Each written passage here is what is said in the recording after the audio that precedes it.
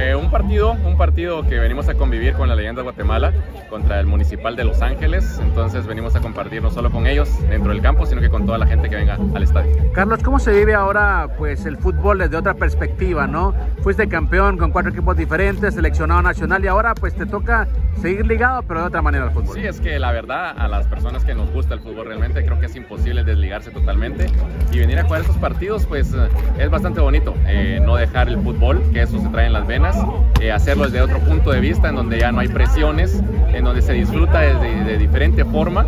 Entonces, y de ahí los partidos, por ejemplo, de Liga Nacional y todo eso, disfrutarlos y ver que, que el fútbol se vaya desarrollando de mejor manera también en Guatemala.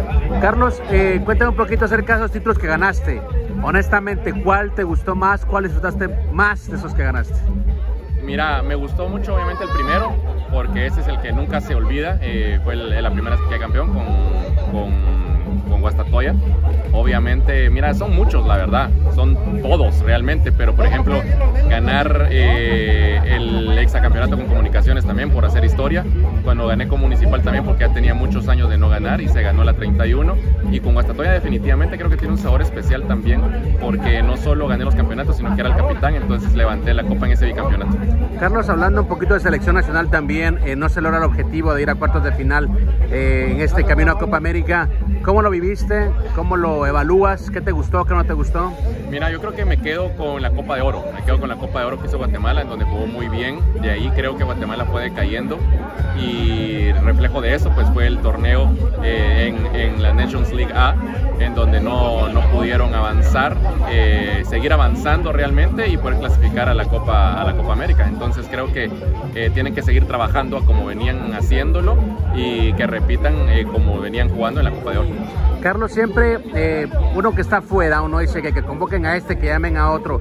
¿Crees que hizo falta algún jugador en estos llamados de selección nacional o crees que, bueno, estaban todos los que eran? Mira, eso al final es cosa del técnico. Definitivamente él sabrá qué jugadores eh, ante sus ojos le gustan, porque al final eso es de gustos.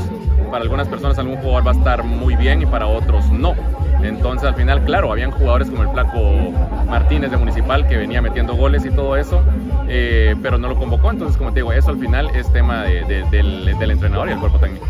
¿Crees que Guatemala, bueno, en este caso lo comentábamos con otro jugador, eh, que le pesa mucho el equipo caribeño, le pesa mucho Panamá por el tema de estatura, de, de, de, velocidad. ¿Crees que físicamente Guatemala está en desventaja con selecciones de CONCACAF?